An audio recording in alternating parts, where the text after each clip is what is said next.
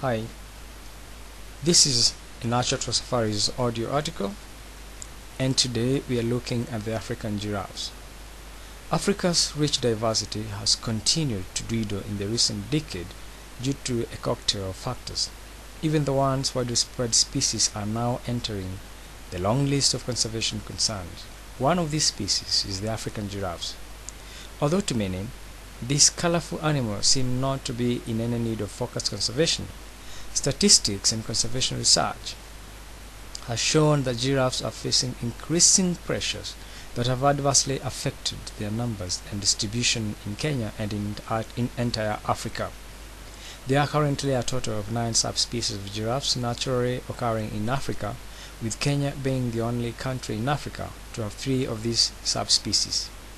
Other countries have either one or two subspecies, making Kenya a preferred epicenter for giraffe speciation. Over the past decade, giraffe numbers in Africa have continued at least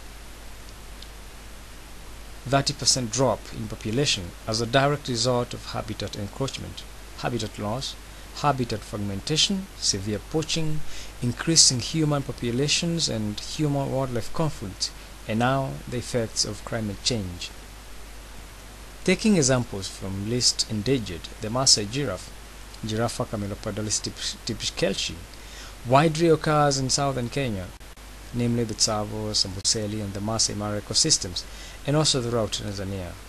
The Maasai giraffes have relatively stable populations compared to the other subspecies in Kenya, although reports that their numbers have also suffered in recent years have been highlighted. Currently, their surveys and recent estimates are being compiled and hopefully some more positive news will prevail. Reticulated giraffe, Giraffa camelopardalis reticulata, the most beautiful of all the giraffe subspecies are widely found in northern Kenya and in Somalia.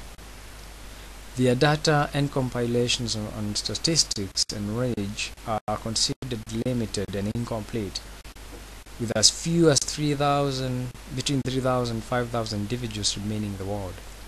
This estimate represents a small fraction of the 20,000 reported to have existed only a decade ago.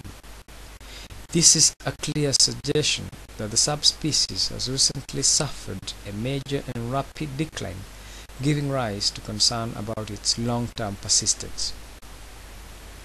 Lazio giraffe, Giraffa camelopardalis rothschildi, is rated second most endangered giraffe subspecies in Africa, with less than 670 individuals remaining in the wild.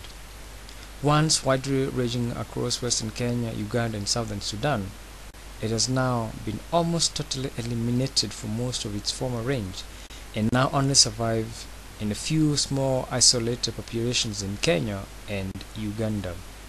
These remaining populations are isolated from one another and are not interbreeding.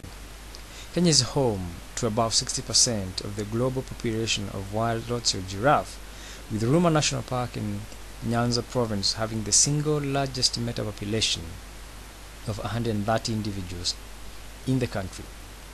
Lake Nakuru National Park has 65 individuals, Soysambu Conservancy above 63, Kigio Wildlife Conservancy above 32, Giraffe Manor in Karen, Mount Elgon National Park, Murgo Farm in 10, Mwea National Reserve, Selgoit Kruger Farm in Iten, Kitale area, and Nasalot Game Reserve, all with populations of less than 20 individuals.